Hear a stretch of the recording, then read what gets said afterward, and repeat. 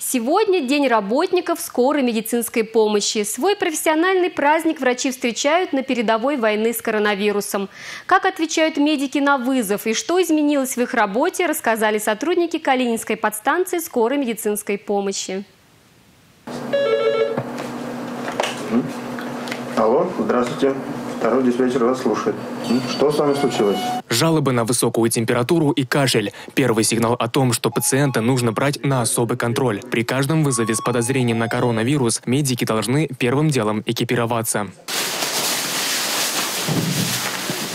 На лицо специальная плотная маска и очки, чтобы вирус не попал на слизистую глаз. Такой защитный костюм надевает каждый работник бригады, включая водителя. Теперь все готовы на выезд к больному.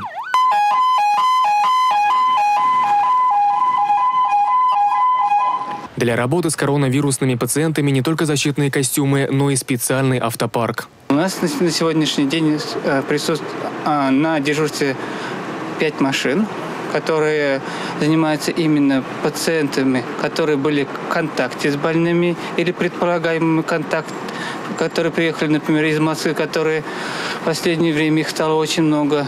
Также из других стран, например, прошлое дежурство привозили э, пациентов, которые приехали из Бали.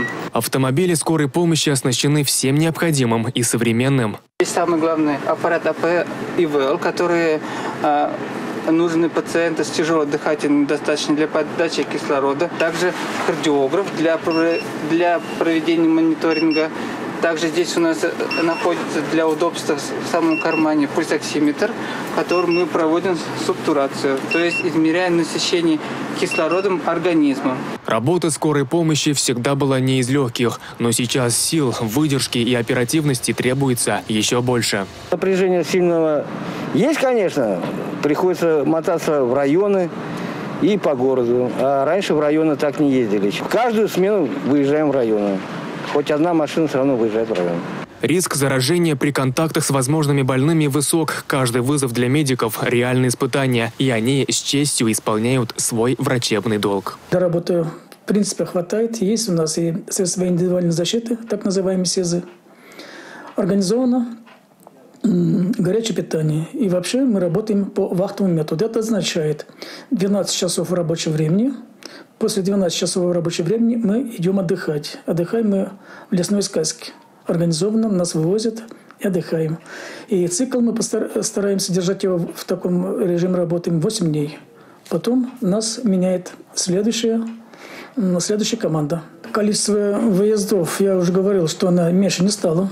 Вчера, например, у нас э, по, за сегодняшнюю неделю по отчетам у нас 375 человек вернее, выезжали мы в 375 случаях, оказывали медицинскую помощь. Но 375 не только коронавирус, там и бывают банальные температуры, банальные ангины.